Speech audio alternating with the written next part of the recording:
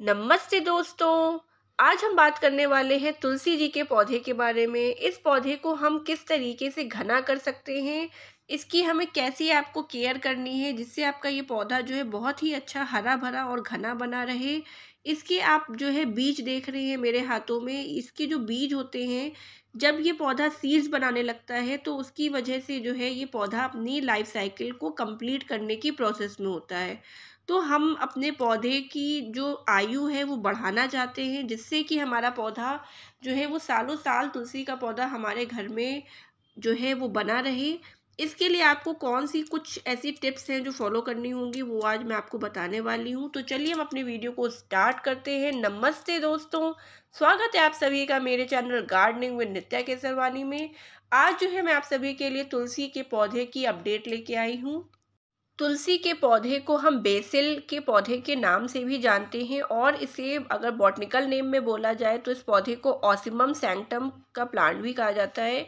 इसकी बहुत सारी वैरायटी आती हैं। इनको अगर आप शुद्ध हिंदी में बोला जाए तो वृंदा, श्यामा और बहुत सारी इसकी वैरायटी होती हैं इस पौधे की।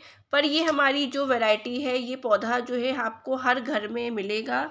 ये एक रिलीजियस पौधा है और इस पौधे की बहुत सारी जो है नेचुरल प्रॉपर्टीज़ हैं, जिससे कि हमारी आयुर्वेद में मेडिसिनल प्लांट है एक टाइप का और बहुत अच्छा जो है ये आपका हर बीमारी में जो है ये फ़ायदा करता है।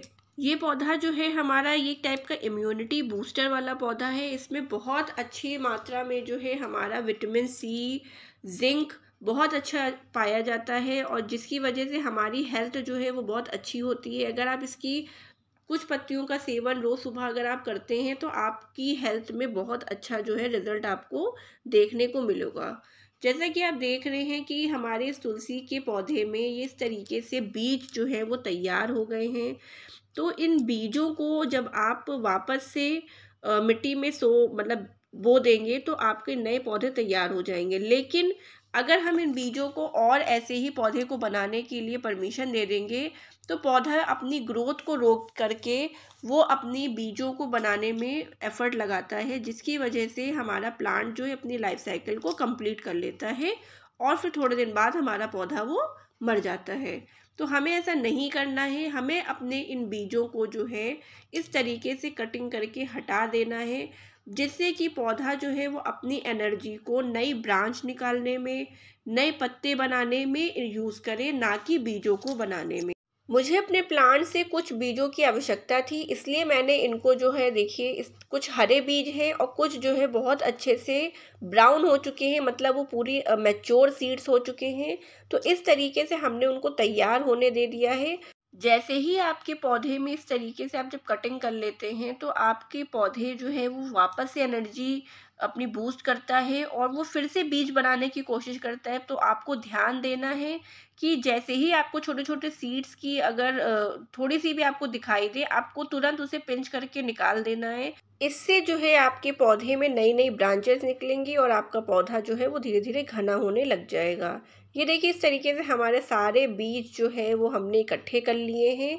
इन बीजों को अब हम संभाल के एक बॉक्स में रख देंगे और जब हमारा बरसात का मौसम आने वाला होगा, यानी बारिश का मौसम, उसके पहले हम इन बीजों को मिट्टी में बो देंगे जिससे कि हमारे तुलसी जी के नए पौधे जो हैं वो तैयार हो जाएँगे तुलसी जी के पौधे की ये जो टिप है वो आप अपने पौधे में ध्यान से अगर आप देखेंगे तो आप भी जो है अपने पौधे को इस तरीके से घना बनाने के लिए कोशिश कर सकते हैं। आप अपने पौधे में पिंचिंग करते रहिए जिससे कि आपका पौधा नई नई ब्रांचेस निकालेगा और आपका पौधा जो है घना हो जाएगा।